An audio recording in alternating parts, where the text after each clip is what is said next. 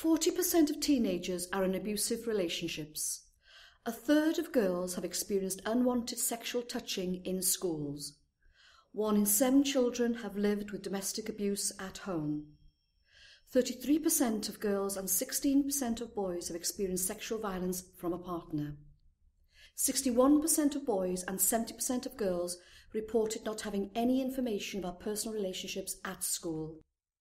73% felt that sex and relationship education should be taught before the age of 13. Education settings are a vital site to prevent and intervene early to stop violence against women, domestic abuse and sexual violence.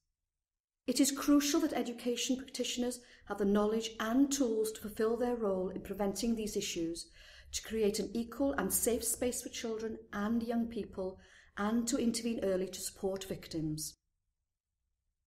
There are three important reasons for schools to promote gender equality and challenge violence against women, domestic abuse and sexual violence. Everyone in the education service has a shared objective to create a safe learning environment by identifying and responding to any child welfare concerns. There is a strong business case for this area of work and, finally, but most importantly, there is a moral imperative to promote gender equality and stop these forms of violence and abuse.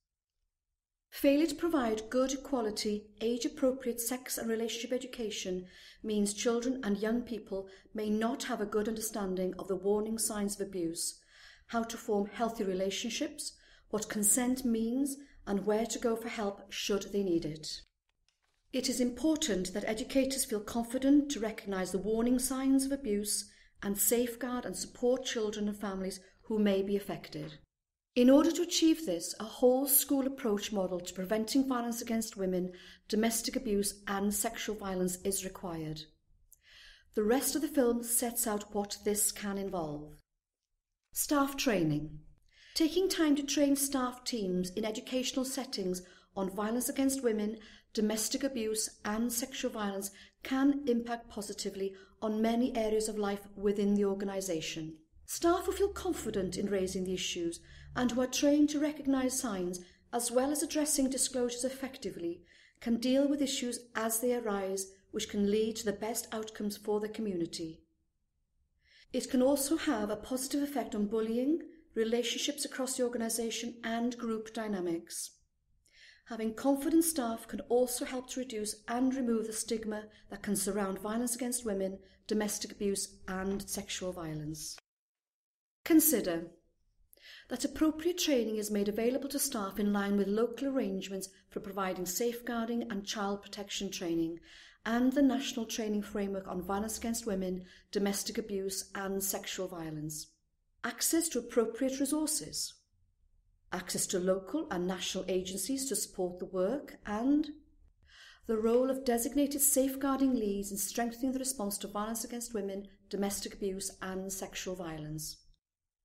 Work that is responsive to and tailored to meet the needs of your young people, school or further education institution culture and local school communities is crucial if the work is to be accurate, appropriate and effective. Working with parents and carers. Many parents and carers will want to talk to their children about their relationships and to keep them safe from abuse and violence. In partnership with specialist services in your area, consider providing workshops, leaflets and information sessions to support parents and carers in their important role.